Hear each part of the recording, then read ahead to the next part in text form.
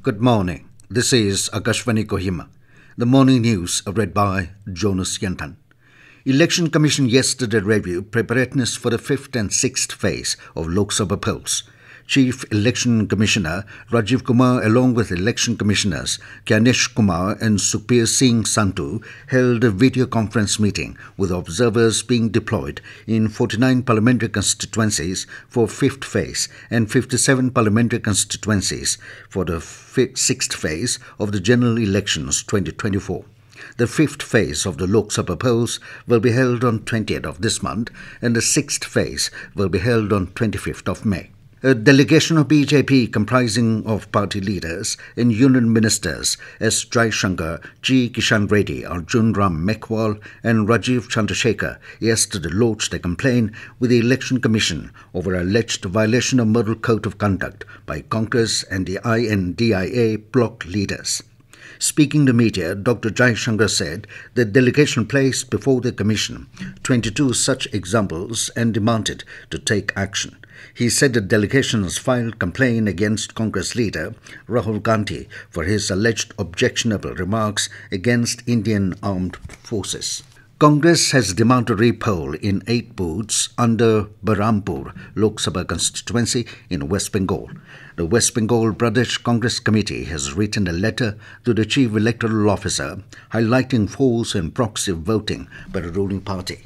Eastern Nagaland People's Organization, ENPO, has written to the State Election Commissioner, SEC, about their collective decision to abstain from participating in the upcoming urban local body elections scheduled for June 26.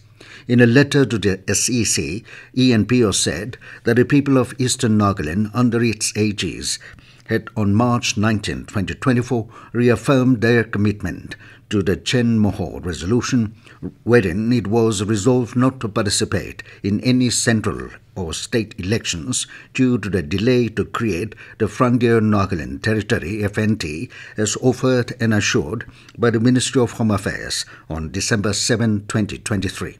ENPO said the Eastern Nagaland people felt compelled to take the course of action as a means of expressing their collective discontentment, the letter explained reminding that their decision to abstain from participating in any central or state electoral process should not be, be taken lightly, the ENPO said that it reflected the sentiments and aspirations of the Eastern Nagaland people who had tirelessly advocated for their rights and aspirations within the framework of democratic governance.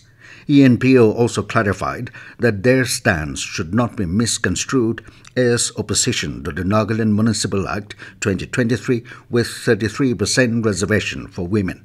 The organization said it remained hopeful that both the central and the state governments would notice the concerns and take concrete steps towards addressing the long standing issue of the FNT. Further, ENPO requested the Chief Electoral Officer to take note of the decision and make necessary arrangements to accommodate the abstention from the upcoming ULB elections in the state. The organization, while expressing its gratitude to the SEC, conveyed its willingness to provide more details if required without any delay. Union Home Minister Amit Shah has lauded a decision to grant citizenship under the Citizenship Amendment Rules 2024.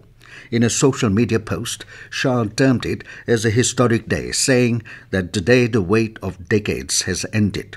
He said Hindu, Sikh, Buddhist, Jain, Parsi, and Christian brothers and sisters who came to India from Pakistan, Bangladesh, and Afghanistan due to religious persecution have started getting Indian citizenship. Mention may be made that Centre yesterday issued the first set of citizenship certificates to 14 applicants under Citizenship Amendment Rules 2024. India's biggest skill competition, the India Skills 2024, has started yesterday in New Delhi. Over the next four days, more than 900 students from 30 states and union territories will showcase their skills in 61 different areas, from traditional crafts to the latest technologies. Skill Development Secretary Atul Kumar Tiwari, who inaugurated the opening ceremony, called it a win win situation for both the youth as well as industries. Winners of India Skills with the help of the best industry trainers will prepare for the World Skills Competition scheduled to take place in Lyon, France in September this year.